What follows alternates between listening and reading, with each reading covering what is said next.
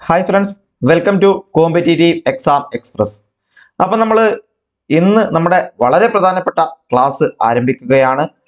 Competitive exam express എന്ന YouTube ചാനലിലൂടെ ആയിരിക്കും നമ്മൾ ഈ ക്ലാസ്സുകൾ പ്രധാനമായും നിങ്ങളിലേക്ക് എത്തിക്കാൻ വേണ്ടി പോകുന്നത്. പിന്നെ ഇതിന്റെ പി ഡി എഫ് അടക്കമുള്ള കാര്യങ്ങൾ നമ്മൾ നമ്മുടെ കോമ്പറ്റേറ്റീവ് എക്സാം എക്സ്പ്രസ് എന്ന ടെലഗ്രാം ചാനലിലൂടെയും പ്രൊവൈഡ് ചെയ്യുന്നതാണ്. ടെലഗ്രാം ചാനലിലൂടെയും പ്രൊവൈഡ് ചെയ്യുന്നു അപ്പോൾ എൽ എസ് ജി എസിന്റെ നോട്ടിഫിക്കേഷൻ ഉടൻ വരാൻ വേണ്ടി പോവുകയാണ് എന്ന് നിങ്ങൾക്ക് എല്ലാവർക്കും അറിയാം. അപ്പോൾ ആ എൽ എസ് ജി എസിന് വേണ്ടിയിട്ടുള്ള ക്ലാസ്സുകളാണ് നമ്മൾ വളരെ സൗജന്യമായി ഈ ഒരു ചാനലിലൂടെ ലഭ്യമാക്കുന്നത്.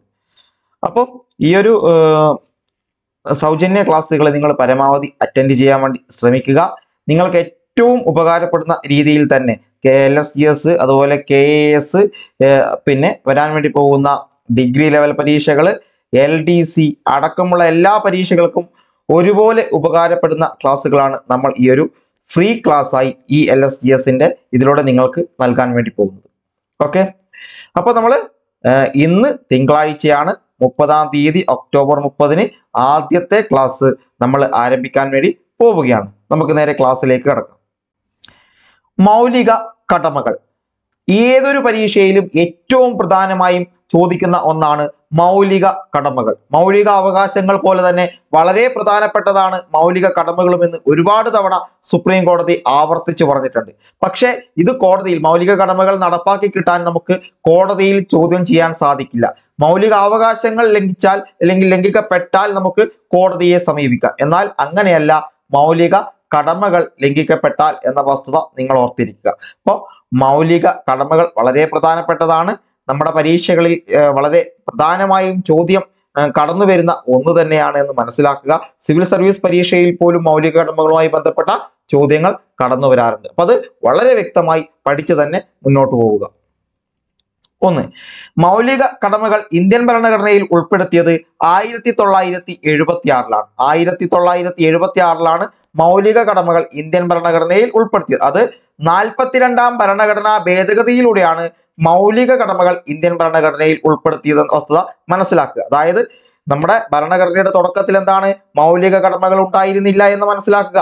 ഭരണഘടനയുടെ തുടക്കത്തിൽ മൗലിക കടമകൾ ഉണ്ടായിരുന്നില്ല. പിന്നീട് ആയിരത്തി തൊള്ളായിരത്തി എഴുപത്തി ആറിൽ നമ്മുടെ ഭരണഘടനാ ഭേദഗതി പ്രകാരമാണ് മൗലിക കടമകൾ ഭരണഘടനയിൽ ഉൾപ്പെടുത്തിയത്. അങ്ങനെ ആയിരത്തി തൊള്ളായിരത്തി എഴുപത്തി ആറിലെ നാൽപ്പത്തിരണ്ടാം ഭരണഘടനാ ഭേദഗതിയിലൂടെയാണ് മൗലിക കടമകൾ അല്ലെങ്കിൽ മൗലിക കർത്തവ്യങ്ങൾ അല്ലെങ്കിൽ ഫണ്ടമെന്റൽ ഡ്യൂട്ടീസ് നമ്മുടെ ഭരണഘടനയിൽ ഉൾപ്പെടുത്തിയതെന്ന വസ്തുത മനസ്സിലാക്കുക. അപ്പോൾ ഓർമ്മിപ്പിക്കുക ആയിരത്തി തൊള്ളായിരത്തി എഴുപത്തി ആറ് നാൽപ്പത്തിരണ്ടാം ഭരണഘടനാ ഭേദഗതി ആയിരത്തി തൊള്ളായിരത്തി എഴുപത്തി ആറ് നാൽപ്പത്തിരണ്ടാം ഭരണഘടനാ ഭേദഗതി. എന്താണ്? മൗലിക കടമകൾ അല്ലെങ്കിൽ മൗലിക കർത്തവ്യങ്ങൾ എന്താണ്? ഭരണഘടനയിൽ ഉൾപ്പെടുത്തി ഭരണഘടനയിൽ ഉൾപ്പെടുത്തി.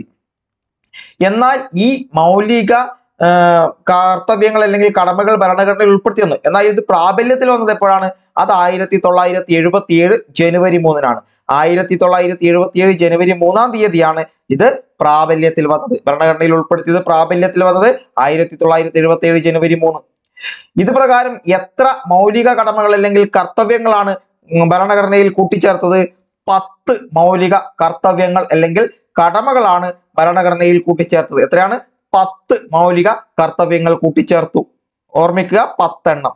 ആ ഒരു സമയത്ത് അതായത് ഭരണഘടനാ ഭേദഗതി നാൽപ്പത്തിരണ്ടാം ഭരണഘടനാ ഭേദഗതി നിലവിൽ വരുന്ന സമയത്ത് അല്ലെങ്കിൽ മൗലിക കർത്തവ്യങ്ങൾ ഭരണഘടനയിൽ ഉൾപ്പെടുത്തിയ സമയത്തെ ഇന്ത്യൻ പ്രധാനമന്ത്രി ചോദിച്ചാൽ അത് ഇന്ദിരാഗാന്ധിയാണ്. ഇന്ദിരാഗാന്ധി ഇന്ത്യയുടെ വളരെ പ്രധാനപ്പെട്ട പെൺകരുത്തിന്റെ പര്യായം എന്നറിയപ്പെടുന്ന ഇന്ദിരാഗാന്ധി ആയിരുന്നു ആ ഒരു സമയത്ത് ഇന്ത്യയുടെ പ്രധാനമന്ത്രി. എപ്പോ?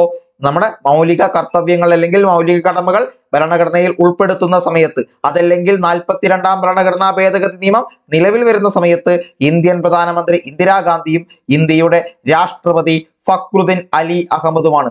ഫക്രുദ്ദീൻ അലി അഹമ്മദുമാണ് എന്ന് നിങ്ങൾ മനസ്സിലാക്കുക. വളരെ ഇമ്പോർട്ടന്റ് ആയ രണ്ട് പേരുകളാണ് ഒന്ന് ഇന്ദിരാഗാന്ധിയും ഒന്ന് ഫക്രുദ്ദീൻ അലി അഹമ്മദും. ഇത് ആയിരത്തി തൊള്ളായിരത്തി എഴുപത്തി ആറിലെ നാൽപ്പത്തിരണ്ടാം ഭരണഘടനാ ഭേദഗതിയിൽ ഓർത്തു വെക്കുക ഇതേ പേര് തന്നെയാണ് നമ്മുടെ അടിയന്തരാവസ്ഥ സമയത്തും ഓർക്കുക. അടിയന്തരാവസ്ഥ സമയത്തും ഈ ഇന്ദിരാഗാന്ധിയും ഫക്രുദ്ദീൻ അലി അഹമ്മദും തന്നെയായിരുന്നു എന്ന വസ്തുത കൂടി അവിടെ നിങ്ങൾ ഓർത്തു വെക്കുക.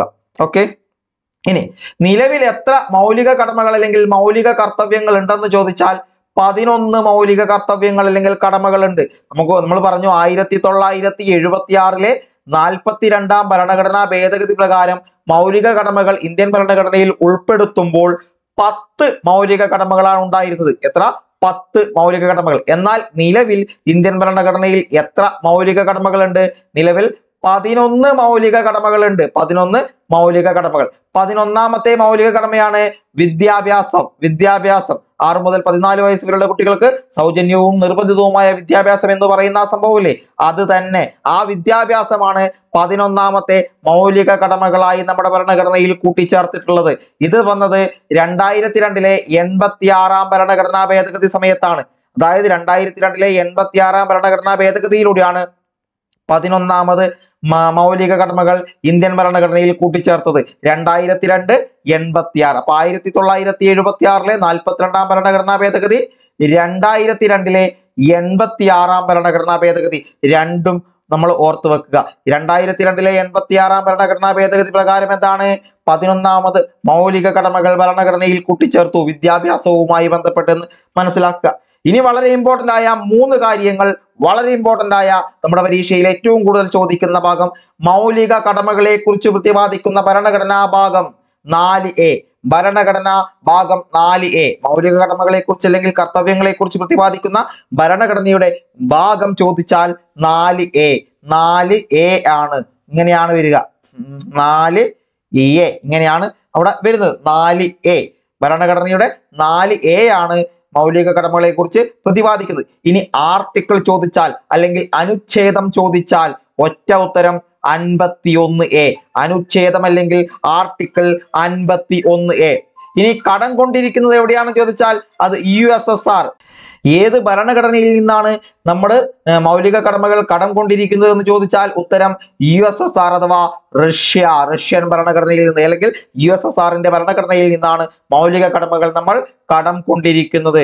കടം കൊണ്ടിരിക്കുന്നത് എന്ന് മനസ്സിലാക്കുക. അപ്പൊ നമ്മൾ ഭരണ പിന്നെ നമ്മുടെ മൗലിക കടമകൾ കടം കൊണ്ടിരിക്കുന്നത് ഏത് രാജ്യത്തു നിന്നാണ് എന്ന് ചോദിച്ചാൽ യു എസ് എസ് ആർ അല്ലെങ്കിൽ Russia. U S S R അല്ലെങ്കിൽ റഷ്യ. മനസ്സിലാക്കുക. അപ്പൊ ഒന്നുകൂടി നോക്കുക. നമ്മുടെ ഭരണഘടനയിൽ മൗലിക കടമകളെ കുറിച്ച് പ്രതിപാദിക്കുന്ന ഭാഗം ചോദിച്ചാൽ നാല് എ. ആർട്ടിക്കിൾ അല്ലെങ്കിൽ അനുച്ഛേദം ചോദിച്ചാൽ അൻപത്തിയൊന്ന് എ. ഇനി കടം കൊണ്ടിരിക്കുന്നത് ഏത് രാജ്യത്ത് നിന്നാണ് എന്ന് ചോദിച്ചാൽ അത് യു എസ് എസ് ആർ അല്ലെങ്കിൽ റഷ്യ. ഈ അടുത്ത് കഴിഞ്ഞ ഗാന്ധി ബോർഡ് പരീക്ഷയിൽ അടക്കം ചോദിച്ചതാണ്. മൗലിക കടമകൾ കടം കൊണ്ടിരിക്കുന്ന രാജ്യം ഏതാണ്? യു എസ് എസ് ആർ അല്ലെങ്കിൽ Russia. United States of Soviet Russia അല്ലെങ്കിൽ റഷ്യ. മനസ്സിലാക്കുക. ഓക്കെ ഇനി ഭരണഘടനയിൽ മൗലിക കടമകളെ ഉൾപ്പെടുത്താൻ ശുപാർശ ചെയ്ത കമ്മിറ്റി ചോദിച്ചാൽ സ്വരൺ സിംഗ് കമ്മിറ്റി. ഏതാണ്? സ്വരൺ സിംഗ് കമ്മിറ്റി. ഭരണഘടനയിൽ നമ്മുടെ മൗലിക കടമകളെ അല്ലെങ്കിൽ കർത്തവ്യങ്ങളെ ഉൾപ്പെടുത്താൻ ശുപാർശ ചെയ്ത കമ്മിറ്റിയാണ് സ്വരൺ സിംഗ് കമ്മിറ്റി. ഏതാണ്? സ്വരൺ സിംഗ് കമ്മിറ്റി. മൗലിക കടമകൾ കോടതിയിലൂടെ സ്ഥാപിച്ചെടുക്കാൻ കഴിയില്ല. മാർഗനിർദ്ദേശക തത്വങ്ങളെ പോലെ തന്നെ മൗലിക കടമകളും എന്താണ്? കോടതിയിൽ പോയി നമുക്ക് സ്ഥാപിച്ചെടുക്കാൻ കഴിയില്ല. മൗലികാവകാശങ്ങൾ റദ്ദ് ചെയ്യപ്പെട്ടാൽ അല്ലെങ്കിൽ മൗലികാവകാശങ്ങൾ നിഷേധിക്കപ്പെട്ടാൽ നമുക്ക് കോടതിയെ സമീപിക്കാം. എന്നാൽ അതുപോലെ മൗലിക കടമകൾ നിഷേധിക്കപ്പെട്ടാൽ അല്ലെങ്കിൽ അത് കൃത്യമായി ചെയ്തില്ലെങ്കിൽ നമുക്ക് കോടതിയെ സമീപിക്കാൻ സാധിക്കില്ല എന്ന വസ്തുത മനസ്സിലാക്കിയത് കടമകളാണ് ഡ്യൂട്ടിയാണ്. ഓരോ പൗരനും നിർവഹിക്കേണ്ട നമ്മൾ തന്നെ സ്വയം ചെയ്യേണ്ട അവകാശങ്ങളെ പറ്റി അല്ലെങ്കിൽ നമ്മുടെ കടമകളെ പറ്റി പ്രതിപാദിക്കുന്ന എന്നാണ് അത് കോടതിയിൽ പോയി എന്താണ് നമുക്ക് സ്ഥാപിച്ചെടുക്കാൻ സാധിക്കില്ല. നമ്മുടെ ഉത്തരവാദിത്തമാണ് ഓരോ ആളുകളുടെയും ഉത്തരവാദിത്തമാണെന്ന ബോധ്യമാണ് മൗലിക കടമകൾ നമുക്ക് പ്രദാനം ചെയ്യുന്നത്. നിങ്ങൾ മനസ്സിലാക്കുക. അതുകൊണ്ട് തന്നെ മൗലിക കടമകളും മാർഗനിർദ്ദേശക തത്വങ്ങളും കോടതിയിലൂടെ സ്ഥാപിച്ചെടുക്കാൻ സാധിക്കില്ല. ഓർക്കുക നമ്മൾ പിന്നെ ഭരണഘടനയിൽ മൗലിക കടമകളെ ഉൾപ്പെടുത്താൻ ശുപാർശ ചെയ്ത കമ്മിറ്റി ഏതാണ്? അത് സ്വരൺ സിംഗ് കമ്മിറ്റിയാണ്. സ്വരൺ സിംഗ് കമ്മിറ്റി വ്യക്തമായി ഓർത്തു വെക്കുക സ്വരൺ സിംഗ് കമ്മിറ്റി. ഇനി മൗലിക കടമകൾ നടപ്പിലാക്കുന്നതുമായി ബന്ധപ്പെട്ട നിയമവ്യവസ്ഥകളുടെ നിലനിൽപ്പ് പരിശോധിക്കുന്നതിനായി നിയമിക്കപ്പെട്ട കമ്മിറ്റിയാണ് justice Verma committee. Justice Verma committee. അതായത് മൗലിക കടമകൾ നടപ്പിലാക്കുന്നതുമായി ബന്ധപ്പെട്ട നിയമവ്യവസ്ഥകളുടെ നിലനിൽപ്പ് പരിശോധിക്കുന്നതിനായി നിയമിക്കപ്പെട്ട കമ്മിറ്റി അത് ജസ്റ്റിസ് വർമ്മ കമ്മിറ്റിയാണ്. വർമ്മി വർമ്മ കമ്മിറ്റി. ജസ്റ്റ് ഒന്ന് ഓർത്ത് വെക്കുക. ഓക്കെ? ഇനി നമ്മൾ പ്രധാനമായും നോക്കാൻ വേണ്ടി പോകുന്നത് പ്രാധാന്യമാണ്. പ്രാധാന്യം. അതായത് നമ്മുടെ മൗലിക കടമകളുടെ പ്രാധാന്യത്തെ കുറിച്ചാണ് പതിനൊന്ന് മൗലിക കടമകളുണ്ട്. അത് നമ്മളിവിടെ നിങ്ങൾക്ക് പതിനൊന്നും പറയുന്നില്ല. അത് നമ്മൾ നമ്മുടെ പി ഡി എഫ് നോട്ടിൽ ആ പതിനൊന്ന് മൗലിക കടമകളും നിങ്ങൾക്ക് ലഭ്യമാക്കുന്നതായിരിക്കും. നമ്മൾ ഈ വീഡിയോ ക്ലാസ്സിൽ ആ പതിനൊന്ന് മൗലിക കടമകളെ കുറിച്ച് എടുത്ത് പറയുന്നില്ല എന്ന് മനസ്സിലാക്കുക. നമ്മുടെ പി ഡി എഫ് നോട്ടിൽ നമ്മൾ കൃത്യമായും പതിനൊന്ന് മൗലിക കടമകളും നിങ്ങൾക്ക് നൽകുന്നതായിരിക്കും. ഇനി എന്താണ് മൗലിക കടമകളുടെ പ്രാധാന്യം എന്ന് ചോദിച്ചാൽ ഇന്ത്യൻ പൗരന്മാരെ അവരുടെ സമൂഹത്തോടും സഹപൗരന്മാരോടും രാഷ്ട്രത്തോടുമുള്ള കടമയെ ഓർമ്മിപ്പിക്കുന്ന ഒന്നാണ്. അതായത് നമ്മുടെ സമൂഹത്തോടും നമ്മുടെ സഹപൗരന്മാരോടും രാഷ്ട്രത്തോടുമുള്ള കടമയെ ഓർമ്മിപ്പിക്കുന്ന ഒന്നാണ് മൗലിക കടമകൾ എന്ന് പറയുന്നത്. മൗലിക അവകാശം പോലെ തന്നെ പ്രാധാന്യമുള്ള ഒന്നാണ് മൗലിക കടമകൾ. അതായത് നമ്മുടെ ഉത്തരവാദിത്വം നമ്മൾ വളരെ വ്യക്തതയോടെ നിർവഹിക്കുക എന്നതാണ് ഇവിടെ പറയുന്നത്. സമൂഹത്തോടും സഹപൗരന്മാരോടും രാഷ്ട്രത്തോടുമുള്ള കടമ ഓർമ്മിപ്പിക്കുന്നു. ദേശവിരുദ്ധവും സാമൂഹ്യ വിരുദ്ധവുമായ പ്രവർത്തനങ്ങൾക്കെതിരെ പൗരന്മാർക്ക് മുന്നറിയിപ്പ് നൽകുന്നു. അതായത് ദേശവിരുദ്ധ പ്രവൃത്തി സാമൂഹ്യ വിരുദ്ധ പ്രവൃത്തി തുടങ്ങിയവയ്ക്ക് മുന്നറിയിപ്പ് നൽകുന്നു. പതാകകൾ അപമാനിക്കൽ അല്ലെങ്കിൽ മറ്റ് നമുക്ക് എന്താ പറയണ്ടേ ചെയ്യാൻ പാടില്ലാത്ത കാര്യങ്ങൾ ചെയ്യാൻ പാടില്ല എന്നതിനെ വ്യക്തമായി ഓർമ്മിപ്പിക്കുന്ന അല്ലെങ്കിൽ അത്തരം മുന്നറിയിപ്പ് നൽകുന്ന ഒന്നിനെ കുറിച്ചും ഇവിടെ സൂചിപ്പിക്കുന്നു. കൂടാതെ പൗരന്മാരെ പ്രചോദിപ്പിക്കുകയും അവർക്കിടയിൽ അച്ചടക്കവും പ്രതിബദ്ധതയും വളർത്തുകയും ചെയ്യുന്നു. മൗലിക കടമകളുടെ മറ്റൊരു പ്രാധാന്യമാണ് പൗരന്മാരെ പ്രചോദിപ്പിക്കുകയും അവർക്കിടയിൽ അച്ചടക്കവും പ്രതിബദ്ധതയും വളർത്തുകയും ചെയ്യുന്നു. മറ്റൊന്ന് നിയമത്തിന്റെ ഭരണഘടനാ സാധുത പരിശോധിക്കുന്നതിനും നിർണയിക്കുന്നതിനും കോടതികളെ സഹായിക്കുന്നു. അതായത് മൗലിക കടമകൾ എന്താണ്? നിയമത്തിന്റെ ഭരണഘടനാ സാധുത പരിശോധിക്കുന്നതിനും നിർണയിക്കുന്നതിനും കോടതികളെ കൂടി സഹായിക്കുന്നുണ്ട്. പല നമ്മുടെ ഭരണകർത്താക്കൾ ഉണ്ടാക്കുന്ന നിയമങ്ങളും അത് നമ്മുടെ കടമയെയും അവകാശത്തെയും ലംഘിക്കുന്നതാണ് എന്നുകൂടി എന്താണ്? കോടതി പരിശോധിക്കും. അങ്ങനെ നിയമത്തിന്റെ ഭരണഘടനാ സാധുത പരിശോധിക്കുന്നതിനും നിർണയിക്കുന്നതിനും കോടതികളെ മൗലിക കടമകൾ എന്താണ്?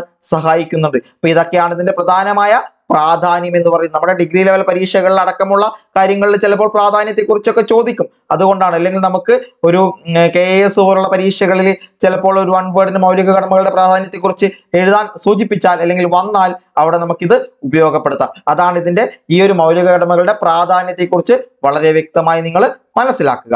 ഓക്കെ അപ്പം ഇത്രയുമാണ് നമ്മൾ ഇന്നത്തെ ഈ ഒരു ക്ലാസ്സിൽ നമ്മുടെ മൗലിക കടമകളുമായി ബന്ധപ്പെട്ട് നമുക്ക് വരാൻ സാധ്യതയുള്ള മുഴുവൻ വസ്തുതകളും നമ്മളിവിടെ പരിശോധിച്ചിട്ടുണ്ട്. ഇനി പതിനൊന്ന് മൗലിക കടമകളെ കുറിച്ച് മാത്രമാണ് നമുക്ക് പഠിക്കേണ്ടത്. അവ ജസ്റ്റ് നിങ്ങൾ ഒന്നോ രണ്ടോ തവണ വായിച്ചു നോക്കിയാൽ മതി. അത് നമ്മുടെ പി മെറ്റീരിയലിൽ നിങ്ങൾക്ക് ലഭ്യമാക്കുന്നതായിരിക്കും. ഓക്കെ അപ്പൊ അത് മനസ്സിലാക്കുക. ആകെ പതിനൊന്ന് മൗലിക കടമകളുണ്ട്. അപ്പൊ മൗലിക കടമകളുമായി ബന്ധപ്പെട്ട ഏറ്റവും പ്രധാനപ്പെട്ട ഒരു ക്ലാസ് ആണ്. ഈ ഒരു ക്ലാസ്സിൽ നിന്ന് നിങ്ങൾക്ക് ഈ ഒരു ഭാഗത്ത് ഏത് ചോദ്യം വന്നാലും എഴുതാൻ സാധിക്കുമെന്ന് തന്നെ വിശ്വസിക്കുകയാണ്. അപ്പൊ അതുകൊണ്ട് തന്നെ വ്യക്തമായി പഠിക്കുക ഇന്ന് നൽകുന്ന കാര്യങ്ങൾ ഇന്ന് തന്നെ പഠിച്ച് മുന്നോട്ട് പോവുക നമുക്ക് മുന്നേറാനുള്ളത് ജീവിതത്തിലേക്കാണ് നമ്മുടെ വിജയത്തിലേക്കാണ് നമ്മുടെ ഒരു പരീക്ഷ കൊണ്ട് നമ്മുടെ ജീവിതം മാറുന്ന ആ ഒരു ലക്ഷ്യത്തിലേക്കാണ് അതുകൊണ്ട് തന്നെ ഏറ്റവും മികച്ച രീതിയിൽ പഠിച്ച് മുന്നോട്ട് പോവുക. നിങ്ങളുടെ കൂടെ കോമ്പറ്റേറ്റീവ് എക്സാം എക്സ്പ്രസ് ഉണ്ടാവും. നമ്മുടെ ടെലഗ്രാം ചാനലിൽ കോമ്പറ്റേറ്റീവ് എക്സാം എക്സ്പ്രസ് എന്നാണ്. ഇനിയും അത് നമ്മുടെ അതിൽ ജോയിൻ ചെയ്യാത്ത ആളുകൾ ഉണ്ടെങ്കിൽ ജോയിൻ ചെയ്യുക. ഏറ്റവും പുതിയ വാർത്തകളും അപ്ഡേറ്റുകളും അതുപോലെ ക്ലാസ്സുകളുടെ പി ഡി എഫ് മെറ്റീരിയലുകളൊക്കെ നമ്മളതിൽ പ്രൊവൈഡ് ചെയ്യുന്നുണ്ട്. ഓക്കെ അപ്പോൾ മറ്റൊരു നല്ല ക്ലാസ്സുമായി നമുക്ക് വീണ്ടും കാണാം. താങ്ക്